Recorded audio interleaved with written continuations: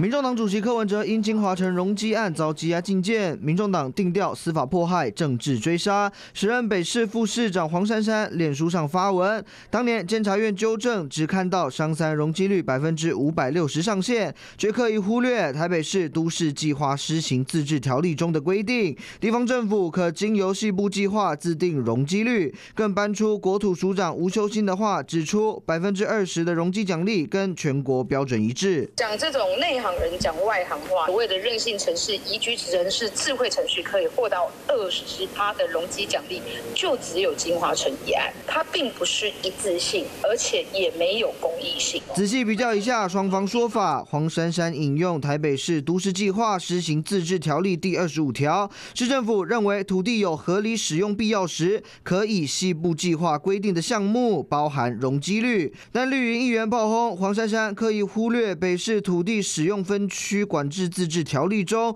规定，金华广场所属的商三用地最高容积就是百分之五百六十。更何况市府为了金华城还特设都更标章。金华城不止没有照土管条例走，他还呢准用了都市更新的奖励，然后获得了百分之二十帕容积率。这相关问题呢，其实黄珊珊没有讲清楚，用这种混淆的方式就来说明，企图呢继续带风向。柯文哲深陷图利疑云，过去左右手帮。帮忙澄清适用的法规解读，让绿白陷入大混战。华视新闻张震张正杰台北报道。